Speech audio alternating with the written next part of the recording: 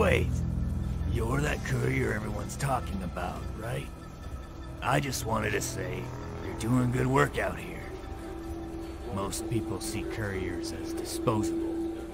See us as easy marks. You're changing that. People are finally starting to take us seriously. So, on behalf of all other couriers, thank you. Oh, and I have a message here for you. It's from our friend. I suggest you read it sooner rather than later. Ave.